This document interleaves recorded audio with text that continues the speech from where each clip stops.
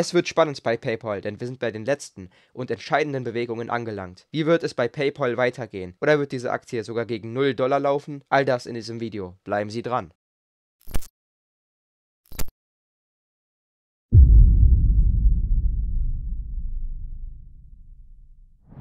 So bevor das Video beginnt, wollte ich Sie noch darum bitten, uns eine Bewertung in Form eines Likes oder Dislikes zu geben und den Kanal zu abonnieren, wenn Ihnen dieser Content gefällt. Ansonsten starten wir jetzt sofort mit der Analyse.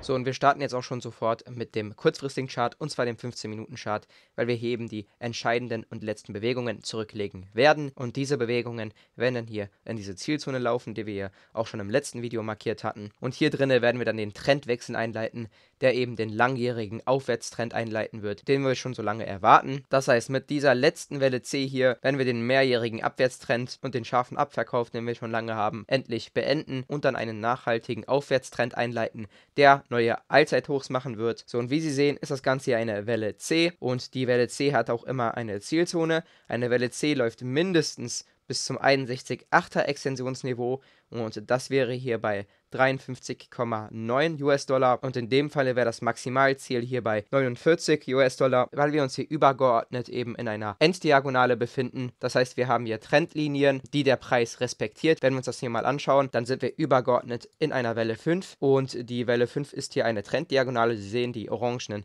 Trendlinien und innerhalb dieses Kanals respektiert der Preis diese Trendlinien. Und weil die ganzen anderen Extensionsniveaus, die die Welle C theoretisch anlaufen könnte, die ganzen Extensionsniveaus über 100%, über 200% und so weiter, die liegen hier eben deutlich unter der Trendlinie, weswegen wir davon ausgehen, dass maximal das 85-4er Extensionsniveau noch angelaufen werden kann, aber halt alle anderen, die deutlich unter der Trendlinie liegen, sind dann damit nicht realistisch und würden dann auch sehr wahrscheinlich nicht angelaufen werden. Was die Welle C halt machen kann, ist theoretisch etwas diese Trendlinie zu überschreiten. Wir hatten das auch hier bei der Welle 4, wie Sie sehen sehen, hat diese Welle 4 etwas diese Trendlinie überschritten, aber ganz so extrem kann das halt nicht ausfallen, weswegen wir hier eben davon ausgehen, dass diese Zielzone mit dem 85-4er an der Unterkante endet. Und diese Welle 5 hier übrigens besteht aus drei Wellen, weil wir hier in einer Enddiagonale befinden. Das heißt, jede übergeordnete Welle, sei es Welle 2, sei es Welle 3 und so weiter, bestehen aus drei Wellen und deswegen sind wir eben hier in der letzten und finalen Welle einer Welle 5. Das heißt, wir sind insgesamt in der letzten Welle von der ganzen Abwärtsbewegung, die wir schon lange haben. Wenn wir uns das mal im langfristigen Chart anschauen, dann sehen wir hier diese übergeordnete 2. Das heißt, wir hatten hier einfach eine lange übergeordnete Korrektur, eine Expanded Flat A, B und C und wir sind eben hier in der Welle C, die sehr extrem ausgefallen ist. Bei einer Expanded Flat kommt die eigentlich nicht so weit runter, aber in dem Falle ist sie das. Und wir befinden uns eben in dieser Welle C, die ja aus fünf Unterwellen besteht, in der fünften Welle. Und wie ich gerade gesagt habe, sind wir hier in der fünften Welle in einer Enddiagonale. Und in dieser Enddiagonale sind wir eben auch wieder in der letzten Welle, weil eine Welle 5 besteht auch aus fünf Unterwellen. Und wie Sie sehen, das Ganze ist hier in gelb gekennzeichnet.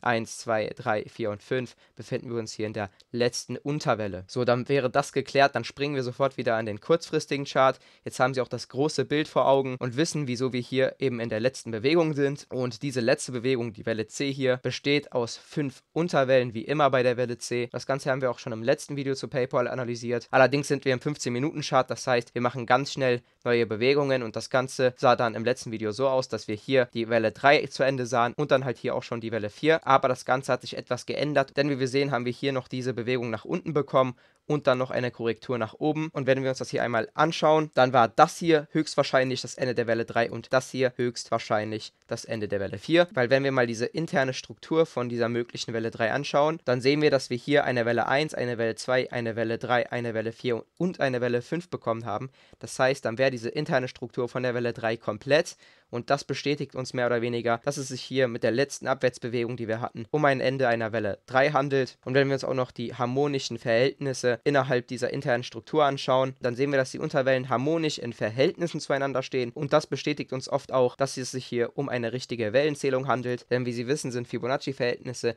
in der Elliott-Wellenmethodik das A und O. Und in der Elliott-Wellenmethodik ist es so, dass die Wellen eben immer in Verhältnissen zueinander stehen. Und wenn man erkennt, dass Wellen nicht in Verhältnissen zueinander stehen, dann heißt es meistens, dass die Wellenzählung einfach falsch ist. Aber wenn man eben erkennt, dass wie hier zum Beispiel die Welle 3, weil das hier ist ja die dritte Unterwelle, wenn wir wie hier zum Beispiel sehen, dass diese dritte Welle perfekt auf eines ihrer Extensionsniveaus angesprungen ist, und zwar auf das 238 2er Extensionsniveau, dann bestätigt uns das meistens die Wellenzählung. Das Ganze können wir zum Beispiel auch bei der internen Welle 4 von dieser 3 machen. Wenn wir uns das mal anschauen, dann sehen wir, dass die Welle 4 fast perfekt auf das 41,4er Retracement Level gekommen ist, was eben ein typisches Ziel einer Welle 4 ist. Und hieran können wir eben auch erkennen, dass diese ganzen Wellen in schönen Verhältnissen zueinander stehen und diese interne Struktur von dieser Welle 3 mehr oder weniger bestätigen. So und Sie sehen, dass diese übergeordnete 4 dieser internen Struktur ziemlich hoch korrigiert ist. Das liegt daran, dass diese Welle 2 eben sehr flach ausgefallen ist und es gibt eben eine Regel der Alternation zwischen 2 und 4 und daran erkennen wir wieder, wie sehr die Wellen in Verhältnissen zueinander stehen, denn es gibt eben die Regel der Alternation zwischen 2 und 4, die eben besagt, dass die Welle 2 und die Welle 4 sich in Intensität und Länge unterscheiden. Das heißt, wenn die Welle 2 flach ausfällt, dann fällt eben die 4 in der Regel tief aus. Und das ist hier eben auch passiert. Wie Sie sehen, ist die Welle 2 flach und die Welle 4 tief korrigiert. Wenn wir uns das mal mit dem Retracement Tool anschauen, dann sehen wir, dass die Welle 4 schon auf dem Weg zum 50er Retracement Level war. Das heißt, die Welle 4 ist tiefer ausgefallen, als sie es normalerweise ist, was eben an dieser Regel der Alternation liegt. So, und wir wären dann hier in der finalen Welle 5. Die Welle 5 hat auch eine Zielzone. Die können wir mit dem Extensionstool ganz einfach bestimmen. So wie Sie sehen, haben wir jetzt hier viele Ziele von einer Welle 5. Wir haben ja gesagt, dass wir zwangsweise in diese Zielzone laufen müssen, weil das eben die Zielzone von der übergeordneten Welle C ist und deswegen kommen ja eigentlich nur die Extensionsniveaus in Frage, die hier ab dem 61,8er Extensionsniveau beginnen. Und das heißt, wir werden hier irgendwo zwischen dem 61,8er und dem 100er Extensionsniveau enden. Das heißt zwischen 53,91 US-Dollar und 50,38 US-Dollar. Und wie Sie sehen, haben wir sogar eine Doppelung von Zielen. Einmal das 61,8er Extensionsniveau von der Welle C, diese graue hier, und einmal hier das goldene 61,8% Extensionsniveau von dieser untergeordneten Welle 5. Und weil diese Doppelung vorliegt, ist dieses Support-Level umso stärker. Das heißt, das wichtigste Support-Level, woran diese Bewegung am wahrscheinlichsten enden wird, liegt hier bei 53,91 bzw. 53,92 US-Dollar. Also Sie sollten sich auf jeden Fall das 53,9 US-Dollar-Level ganz gut im Hinterkopf behalten, weil das eben das stärkste Level ist. Natürlich sind die anderen Level auch wichtig, aber das 53,9 US-Dollar-Level wird auf jeden Fall die größte Unterstützungszone bilden. Wenn diese gebrochen wird, kommen dann natürlich die anderen, die darunter liegen, aber bis dahin wird das 53,9 US-Dollar-Level unser Fokus bleiben. Aber wie gesagt, zwischen 53,9 und 50,38 US-Dollar wird diese Bewegung zum Ende kommen und den Trendwechsel einleiten und auch damit dann den Aufwärtstrend einleiten, der uns dann über viele Jahre einen steigenden Kurs liefern wird. Apropos Aufwärtstrend, wir schauen uns diesen jetzt sofort im langfristigen Chart an und schauen uns an, was das überhaupt übergeordnet für eine Struktur ist. Also, let's do this.